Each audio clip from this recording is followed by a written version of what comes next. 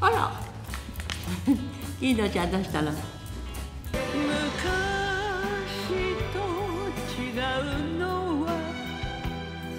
あなたがそばにいないこと。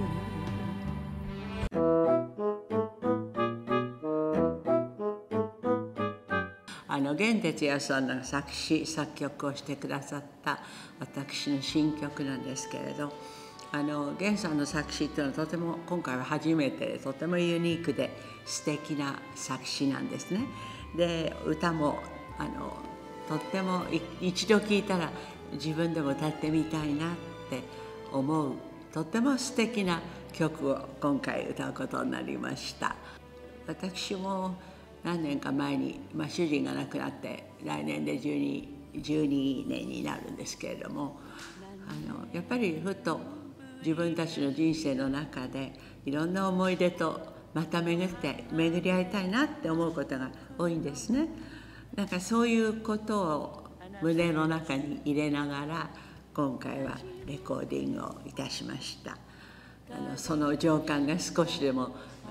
満ちていたらいいなと思っております。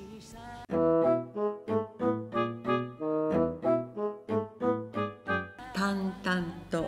あの優しくそしてあの自分の人生の思い出を振り返ってみてあのいろいろなことを思い出しながら決してあの、うん、フォルテピアニッシモっていうんではなくてあの物語を語るようにあのよく歌は語れって言いますけれどもあの語るように自分のあの歌にしていただけたらと思います。皆様の心にある思い出と一緒に語りながら思い出しながら大切にしながらこの歌を歌っていただければと思って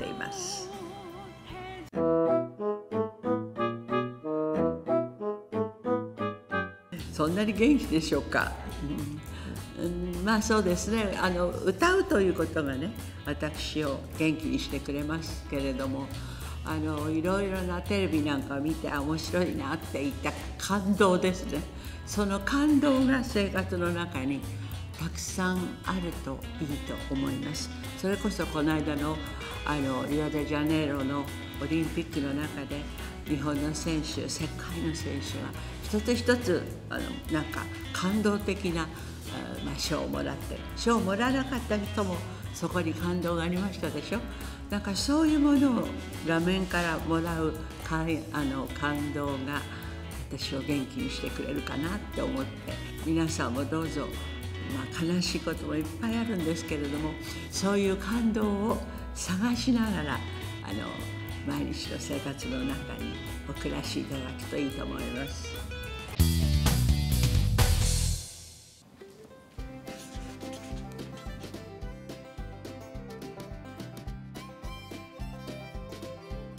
歌に行き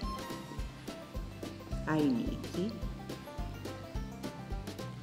思い出と夢に生きる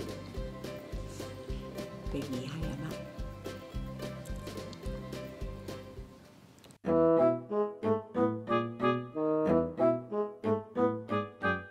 あの私はあのキングレコードに入って来年で65年になります。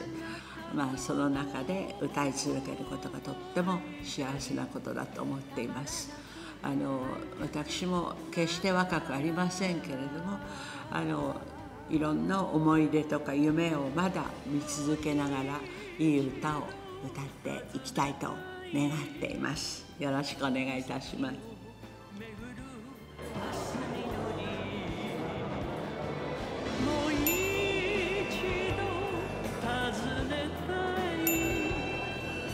先を